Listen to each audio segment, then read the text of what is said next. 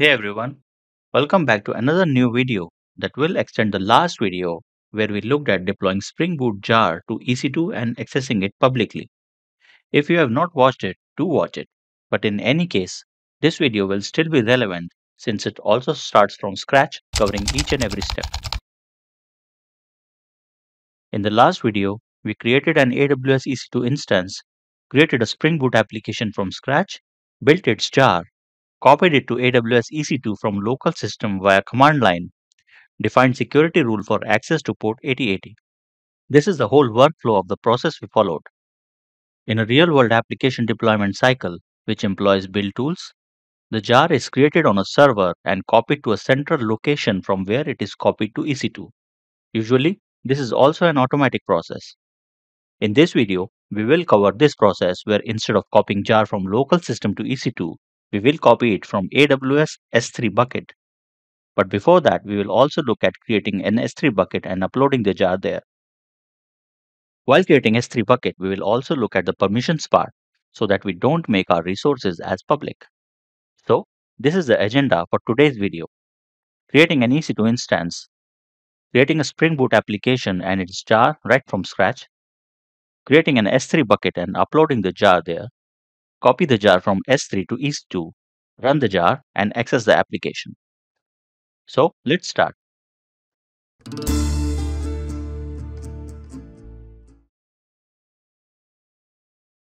We will start with creating an EC2 instance. For learning purpose, you can create an AWS account and use it free for one year. In the free tier, you can use EC2 for 750 hours per month for free which is more than enough for learning purpose and hosting an application that runs for some specific times during the day. Log into your AWS account. This is the landing page when you log in. You can find EC2 here. If you don't see it here, search EC2. Click the link. Create a new EC2 instance. Click Launch Instance here. Or you can also click Instances here you will see all your EC2 instances. Click on Launch Instance. Give a name to the instance. This is the image of the OS that will be installed. You can use any one as per your needs. We will be using Red Hat Linux. It lies in the free tier. It will be a 64-bit machine. Select the instance type as per the processing required. We will select T2 Micro since we don't need any additional processing and it also falls under the free tier. Next is the key pair login. This is required if we want to connect to EC2 instance from a terminal. We have to do this, so we need to generate it. Click on Create Key Pair. Provide a name to it. Type will be RSA. Regarding file format, if you will be using Mac or Windows 10 or higher, then select PEM format. And if you are below Windows 10, then select PPK format. In that case, you need to connect with EC2 using PuTTY. Click Create Key Pair button. This will download a file. Save this to some location. Leave rest of the settings to default. Click on Launch Instance.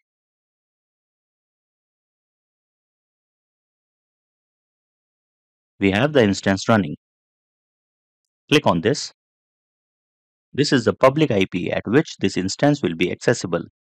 Next, we need to control the access to this EC2 instance. Scroll down. Click on Security. Click on Security Group attached to this instance. Security groups control incoming and outgoing traffic to an EC2 instance. Here are the inbound rules. Inbound rules control incoming traffic to the EC2 instance. So you can restrict or allow a client to connect to your EC2 instance. If you look here, incoming traffic at port 22 is allowed and it is because of this rule that we will be able to access EC2 from command line. Our EC2 instance is ready. Now let's create a Spring Boot application that we will be deploying on this EC2 instance. Open Spring Tool Suite Click on File, New Spring Starter Project. Provide a project name. Select Build Tool Type, Maven or Gradle. We will go with Maven. Packaging will be jar. Select Java version. I will go with Java 21. Language is Java. Provide a group, artifact, version, description, and a package. Click Next. Select the dependencies. Since you are creating a HTTP REST application, select Spring Web. Click Finish. The project is ready along with the main class. Create a new class which will be the controller for handling HTTP request. Add REST controller annotation at the class to make it a Spring controller. Provide a get mapping with an endpoint and return a string message from this method.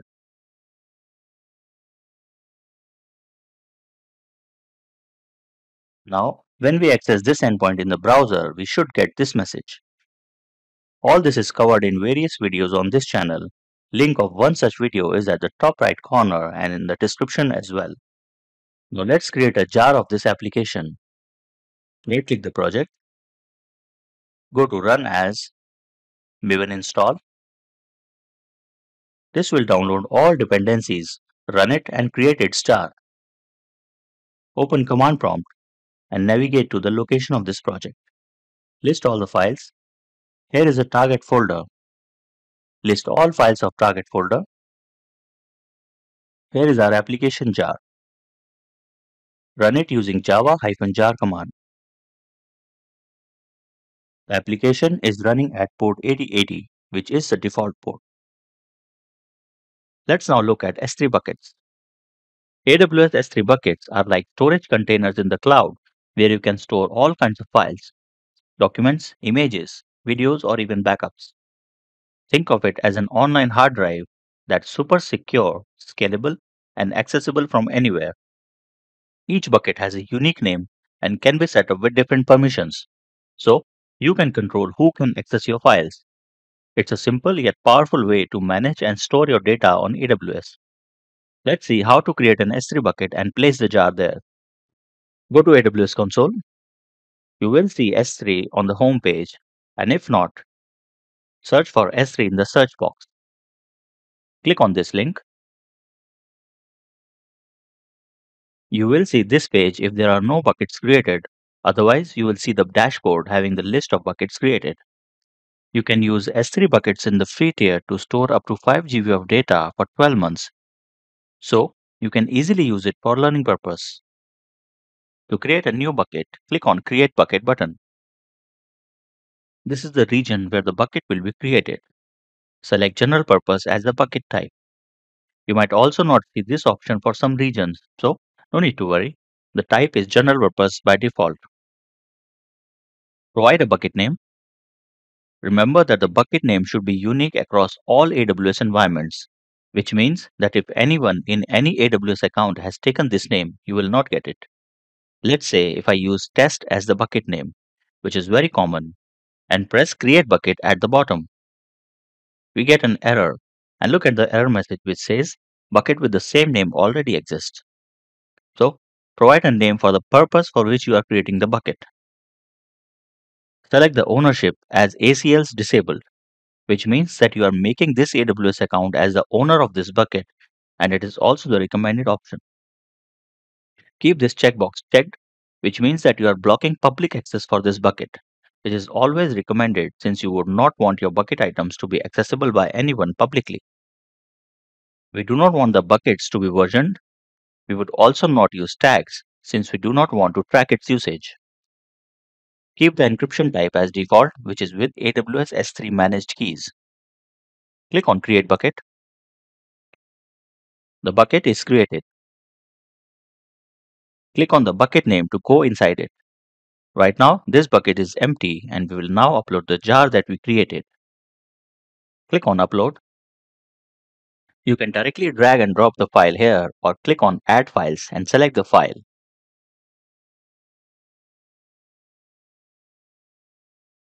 Click on Upload at the bottom. The file is being uploaded. It will take some time depending on the size of file.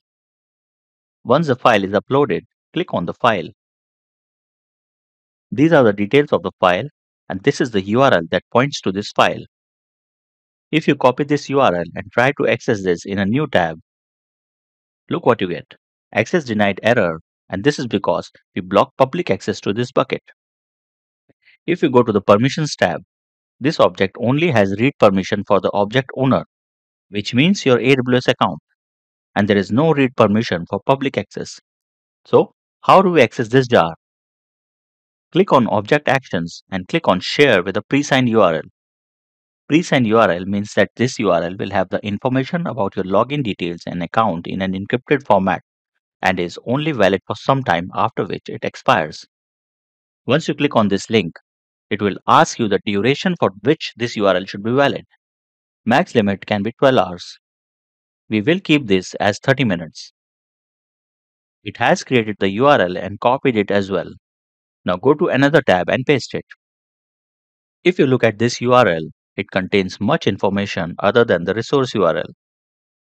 Press enter Look, it is now downloading the file.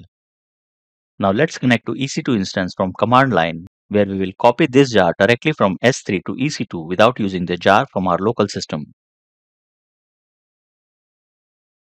In order to run this jar, we need to connect this EC2 instance from command line of our local Windows system.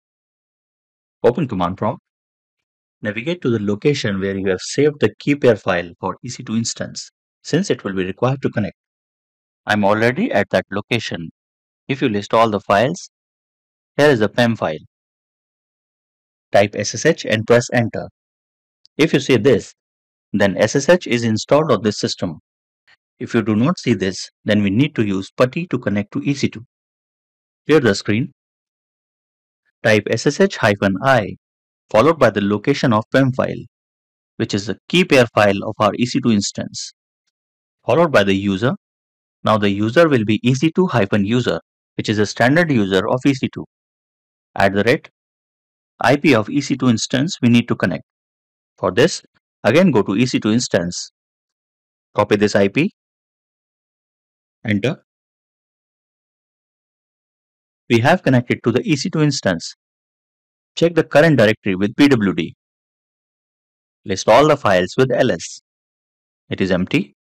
Remember that this is the Linux system since we used Linux image. So only Linux commands will work here. Now we need to copy the jar from S3 to this system. For this, we will use wget which is a command line utility for Linux system. Since we use Linux image, this is pre-installed. So wget followed by the URL of the file to download. To get the URL, we will have to go to S3 again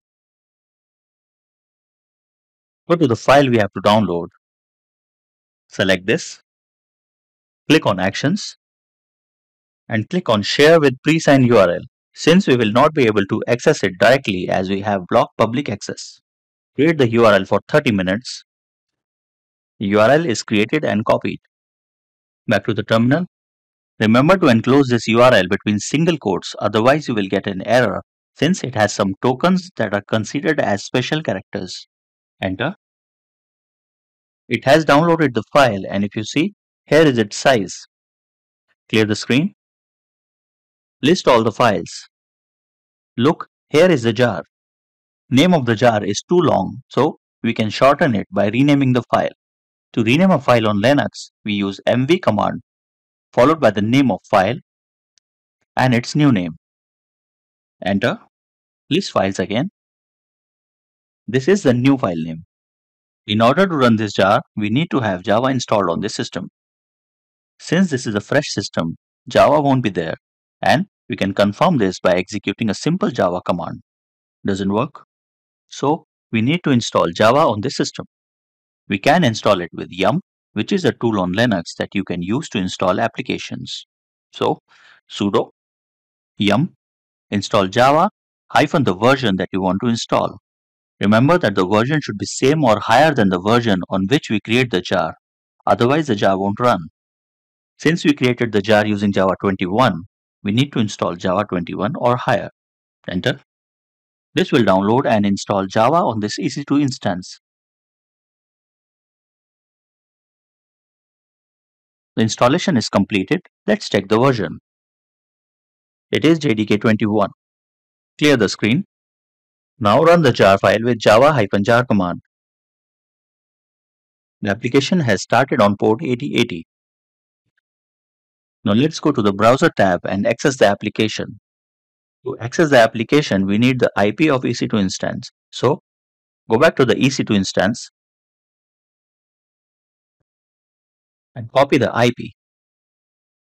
Open a new browser tab, enter the IP colon 8080 which is the port at which the application is running slash the endpoint that we have exposed which is home. Enter. This is not accessible and the reason is that by default all incoming traffic to an EC2 instance is blocked and you have to explicitly allow. This is done using EC2 inbound rules which control the incoming traffic. I told this at the time of creating EC2 instance as well. Go to the Security tab. Click on Security Group. If you see, there is only one inbound rule which allows traffic at port 22 and this is the reason that we were able to connect to EC2 from command line. Click on Edit Inbound Rules, add new rule, allow incoming traffic from port 8080 from any IP. Save. Go back to the other tab, enter. The application is now accessible. Finally, after you are done, do not forget to stop the EC2 instance, else its running hours will keep on adding and if its monthly hours exceed 750 hours, then you will be charged for additional usage. For this, select the EC2 instance, click on Instance State. Here you will see options to stop and terminate instance. If you wish to use this EC2 again, then click on Stop Instance, which will also stop the hours from being added to the usage. In this case, you can anytime come back and restart the instance. And if you will not use it again, click on Terminate. This will stop the instance and delete it. You can also delete the S3 bucket after use. Though you can skip this step since we get 5 GB of S3 storage in the free tier, but if you forget it for one year, you will be charged for this. Select the bucket and delete. You can delete only empty buckets and since our bucket has a file, it will not allow to delete. Click on empty bucket and type permanently delete. Empty the bucket. Finally, select the bucket again and delete. You need to write the bucket name here. This is just an extra check to prevent accidental deletion. The bucket is deleted and since we don't have any bucket, this will direct to S3 homepage. So that's it for this video. Hope you liked it and I'll see you in the next one.